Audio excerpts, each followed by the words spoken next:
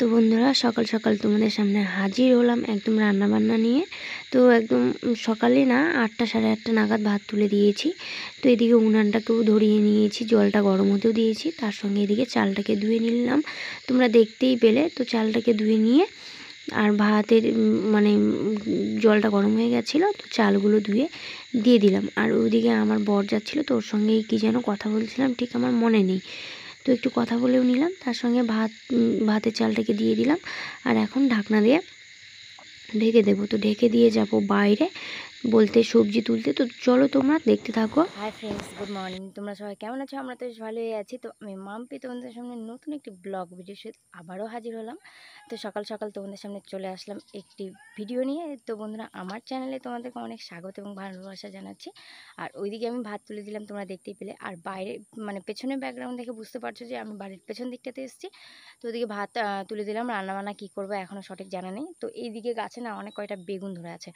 তো সেই বেগুনগুলোই তুলে নেব। আর আজকে সকাল সকাল রান্নাবান্নার কারণ আছে যে, সকাল সকাল রান্নাটা করে নিয়ে বাড়ির অনেক কাজ আছে। কারণ বিশ্বকর্মা পুজো কাল বাদে পরশু, তো আজকে বৃহস্পতিবার, সেটা বলে দিলাম। তো শুক্রবার বাদ দিয়ে আবার শনিবারে পুজো আছে, তো অনেক রকম বাড়ির কাজ থাকে, বুঝতে পারো। কয়েকদিন ধরে একদম কন্টিনিউ বৃষ্টি চলে গেল। মানে তার কারণে না কাঁচা কুচি হয়েছে, বাড়ির কোনো ঝাড় মানে উপরে ঝুল টুল সেগুলো ঝাড়া হয়েছে, সামনে তো পুজোও আসছে তো সব একবারে করে নেব তাই ভাবছি। তো চলো, আমি কি করছি, সারাদিন তোমাদের সঙ্গে পারলে অবশ্যই শেয়ার করব। যতটুকু পারব ঠিক ততটুকুই শেয়ার করব, তাই না বলো? তো চলো আমার সঙ্গে আমি কয়টা বেগুন তুলে নিয়ে তারপর রান্নার দিকে যাই। আর কি কি করছি তোমাদেরকে অবশ্যই দেখাবো। দেখতে থাকো বন্ধুরা।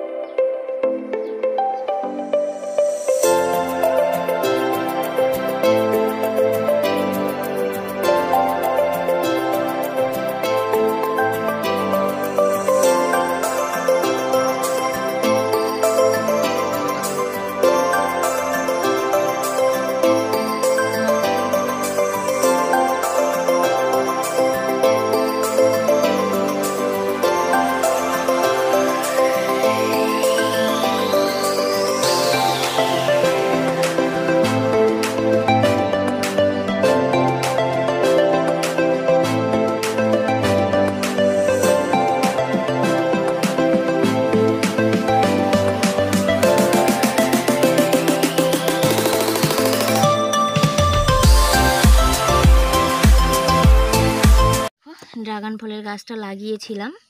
তো এটা এখান থেকে ভেঙে গেছে, এই যে এখানে এটা লাগানো হয়েছে। তো জানি না, ছাগলে মনে হয় ভেঙে দিয়েছে, একদিন এসে দেখি ভেঙে গেছে। আর এটা হবে বলে আমার মনে হয় না। তো কতদূর কি হচ্ছে দেখি।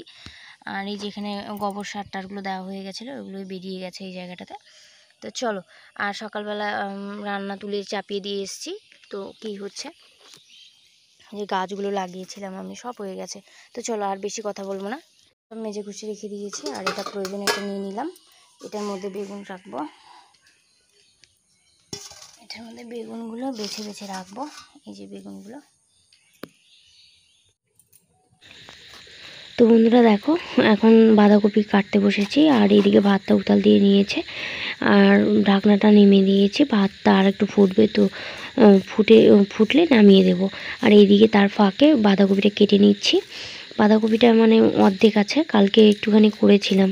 খিচুড়িতে দিয়েছিলাম আর অল্প একটু বেশি দিইনি, অল্পটাই দিয়েছিলাম। তো সেটা মানে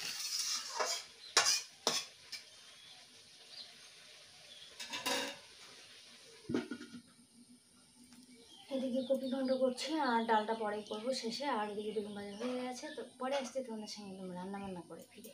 তো চলো। তো বন্ধুরা, রান্নাবান্না সব কমপ্লিট করে সেরে দিই মানে রান্নার দিকটা একদম সেরে নিয়ে চলে আসলাম এই দিকে ঘরে। তো আমাদের টিনের ঘরটা মানে অনেক ঝুল হয়। তোমাদের সেই মাকড়সাগুলো হয়, মাকড়সাগুলো একদম জাল বনে, তার সঙ্গে সঙ্গে একদম মানে আরও ঝুল টুল রান্নার পাশেই তো এই ঘরটা আমাদের। আর রান্নার সব কালিগুলো সে ঘরে ঢুকে করার তো কিছু নেই, সেইভাবেই ব্যবস্থা নেই যে রান্নাঘরটা অন্যদিকে নিয়ে যাব। তো ওইভাবেই অ্যাডজাস্টমেন্ট করে থাকতে হয়, করার কিছু নেই। আর এই দিকে ফ্যানটাকে বিগত তিন থেকে চার দিন ধরে কোনো রকম আর চালানো হচ্ছে না। যেহেতু বৃষ্টি হচ্ছে তো, আর ঠান্ডাও লাগছে। প্রয়োজনে ক্যাথা নিতে হচ্ছে ফ্যানের আর প্রয়োজন পড়ছে না। পুজো পার হলে সম্পূর্ণ তো ফ্যান আর চলবে না বললেই চলে। তো ফ্যানটাকে এদিকে মোছামুছি করে নিচ্ছি আর ঝুলগুলোকে একদম সম্পূর্ণ পরিমাণে ঘরের ঝুলগুলোকে ঝেড়ে নেব। যতই ঝুল ঝাড়ি, তবুও সাত দিন পর, আট দিন পর দেখব আবার সেই ঝুল। তো পুজোর মানে সব কাজ বাজ একদমই করে নিচ্ছি। আর মাথার মধ্যে একটা গামছা দিয়েছি। কারণ কি বলো তো গামছাটা যদি না দিই না, সেই জুলগুলো পড়ছে সব। মাথাতে তো পড়বে, তার সঙ্গে এই চোখটাকে সেভ করছি। একটু করে, নইলে উপর দিকে তাকলে চোখের মধ্যে পড়তে পারে, যার কারণে মাথাতে গামছা পেছিয়ে নিয়েছি। তো এইভাবেই করছি। তো তোমরা দেখো।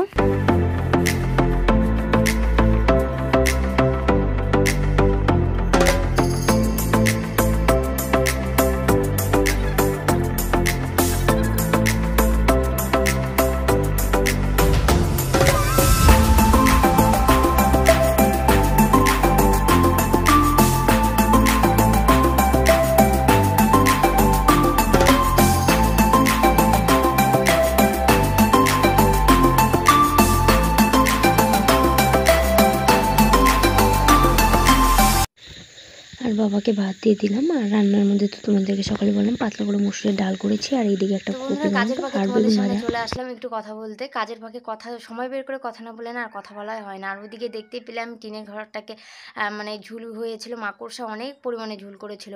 তো সাত দিন পর পর এত ঝুল ঝাড়া হয় তবুও মাকড়সা যেন আর মানে বাসা বাঁধতেই থাকে তার। তো যাই হোক, ওইদিকে ঝুল টুলগুলো সব ঝেড়ে নিলাম, বেড কভার দুটোকে ভিজিয়ে দিলাম, মশারির কভারগুলোকে। পুজোর মনে সব কিছু করে ফেলছি। সামনে বিশ্বকর্মা পুজো আছে আমাদের বাড়িতে, তার কারণে এইসব করে নিচ্ছি। আর বেড কভারটা একবারে কাচবো, আর ঘরটাকে আমি একদম পুজোর, দুর্গা পুজোর মনে ঝেড়ে টেড়ে নিলাম। তো আমাদের পুজোর বাজার এখনও কিছু হয়নি, তো হবে। পুজোর আগে আগে হয়ে যাবে। আর এই দিকে বাবা একটু বালুরঘাটে গেল। বাবাকে ভাত দিয়ে দিলাম কাজের ফাঁকে। বাবাকে ভাত দিলাম, তোমরা দেখতেই পেলে। তো বাবা ভাত টাত খেয়ে দিয়ে বালুরঘাটে চলে গেল। আর আমি এখন সব কাজ বাজ করে পুজো দেবো। সকাল থেকে সেভাবে কিচ্ছু খাওয়া হয়নি। দুটো বিস্কুট খেয়ে, জল খেয়ে নিয়েছি। আর পুজো দেবো বৃহস্পতিবার। আজকে তোমাদের সকালেই বললামই। তো ফুল টুল আমার কিছুই তোলা হয়নি। আর স্নান টান একদম সব কাছাকাছি করে স্নান করে মানে পুজো দিয়ে নেব। আর এদিকে না, আজকে আমাকে শাড়ি পরতে হবে। আর গরম করছে বলতে আজকে রৌদ্র সেভাবে নয়। তবে কাজ করতে করতে হাঁপিয়ে গিয়ে ঘেমে গেছি, দেখতেই পাচ্ছ আর গরম লাগছে। আর এদিকে বৃষ্টির জন্য সব নাইটি টাইটি ভেজা আছে, শুকায়নি সেভাবে, তো শাড়ি পরতে হবে। তো আর বেশি কথা না বলে আমি চান টান করে পুজো দিয়ে পরে তোমাদের সঙ্গে আমি দেখা করতে আসছি বন্ধুরা, তো চলো। চান করে এসেছি, দেখো চুল টুল বেঁধে সিঁদুর উপর নিয়েছি, পুজো থালা বাসনগুলো মেজে নিলাম, এখন পুজো দিয়ে একদম তোমাদের সামনে আসছি। আজকে আর পুজো টুজো দেওয়া শেয়ার করব না, তোমাদের সঙ্গে পুজোটা দিয়ে নিই আমি হ্যাঁ ঠিক আছে? চলো ফুল আর তুলসী পাতা তুলে নিয়ে আসি, দুব্বা। সব কিছু বাইরে থেকে তুলে নিয়ে আসি। তোমরা দেখতে থাকো। তো দেখতেই পাচ্ছ, বেড কভারগুলোকে কিনে, কেচে নেড়ে দিয়েছি উঠানের মধ্যে। তো বর্ষার দিনে এত জামা কাপড় কেচে আমি সত্যি খুব বোকা সেজে গেছি আজকে। তো মানে এটা আমার বিশাল বড় ভুল যে মানে বৃষ্টি শেষ হতে না হতে, রৌদ্র না উঠতে একদম জামা কাপড় বেড কভার সব নেড়ে দিয়েছি। কিন্তু এই যে বালতিতেও কাপড় পরে আছে নেড়ে দেওয়ার জায়গা নেই। আর পরে এত বৃষ্টি আসবে। তো আর সত্যি বলছি এগুলো আর শুকাবে না। পুজো দিয়ে তোমাদের সামনে হাজির হলাম আর ওইদিকে বেড কভারগুলো কেচে দিয়েছি, তোমাদেরকে দেখালাম, সাহস করে আজকে কেচে দিলাম আর যা পরিস্থিতি হচ্ছে তো হচ্ছে। তো বৃষ্টিতে মানে বৃষ্টি টিপটিপ করে পড়ছে, ঝমঝম করে এখনও পড়তে শুরু করেনি, তবে ঝমঝম করে পড়ে যাবে। আকাশটা অনেক পরিমাণে ডেকে যাচ্ছে, তো আমার বৃথাই গেল আমি বলব। তো জানি না কবে শুকোবে আর বৃষ্টিটা ঝমঝম না, টিপটিপ করে আসছে। তো আসুক, পরে তোমাদের সঙ্গে আমি আবার দেখা করতে আসছি, খাওয়া দাওয়ার পর। এখন বিকেল তিনটে বাজে, তো তিনটে দিক তোমাদের সামনে আসলাম। আর কাপড় চোপড়গুলোকে তুলে এখানে রেখে দিয়েছি আলনার মধ্যে। ভাঁজ করিনি ভেজা আছে। তো কি করব? বৃষ্টিতে সব কিছু ভেজা, এমনিতে ভিজে গেল। তো রেখে দিয়েছি, জানি না কতদিন পর্যন্ত মানে কবে শুকাবে আর কতদিন পর্যন্ত এরকম বৃষ্টি চলতেই থাকবে। শুনলাম নাকি আঠেরো তারিখ পর্যন্ত বৃষ্টি হবে, তো জানি না কি হবে। তো আজকে তো সবে পনেরো তারিখ। তো হোক। কতদিন কি হচ্ছে আর আমার ভেজা কাপড়গুলো কতদিন পর্যন্ত শুকাচ্ছে? আর বিকেলবেলা একটু কারেন্ট এই মাত্র আসলো, ফোনটাকে একটু চার্জে দিয়ে তোমাদের সঙ্গে কথা বলতে আসলাম। আর বিকেলে চার্জারটা দেবো। আর সন্ধ্যাবেলা কী হচ্ছে রান্নাবান্না সব কিছু তোমাদের সঙ্গে শেয়ার করব। তো তোমরা দেখতে থাকো বন্ধুরা। তো চলো। তো এই দেখো মাছ, তো মা, মামাদের ওখান থেকে মাছ নিয়ে আসলো, তো মাছগুলো ধোয়া হয়নি, আরেকবার ভালো করে ধুয়ে নেব। আর দুই ভাগে ভাগ করেছি, তো এটা কালকে খাওয়া হবে ফ্রিজে রেখে দেবো এটা। আর এইটা এখন একটু পেঁয়াজ, রসুন দিয়ে, মাছ দিয়ে একটু মানে কারি করব। আর এইদিকে দুপুরের ডালটা জাল দিয়ে নিলাম, মুসুরের পাতলা করে ডাল। আর এই যে দেখো আমার মাছের একটা কারি মতো করলাম, তো বাবা এই দিয়ে খাবে না, বাবা ডাল মাছ এমনি ভাজা দিয়ে খেয়ে নেবে। তো আমাদের রাতের রান্নাবান্না এই ছিল। বন্ধুরা, খাওয়া দাওয়া কমপ্লিট হয়ে গেছে রাতে। তো ভিডিওটি আমি শেষ করতে চলে আসলাম। তো সারাদিনে কী করলাম, না করলাম তোমাদের সঙ্গে আমি শেয়ার করলাম। আর আমার ভিডিওগুলি ভালো লাগলে অবশ্যই তোমরা লাইক কমেন্ট শেয়ার এবং নতুন হলে সাবস্ক্রাইব করতে ভুলবে না বন্ধুরা। তো ভিডিওটি আমি এখানেই শেষ করছি। কালকে নতুন একটি ভিডিও সহিত তোমাদের সামনে আমি আবারও হাজির হব। তো তোমরা সবাই ভালো থেকো এবং সুস্থ থেকো। তো টাটা বন্ধুরা এবং শুভরাত্রি। তো টাটা।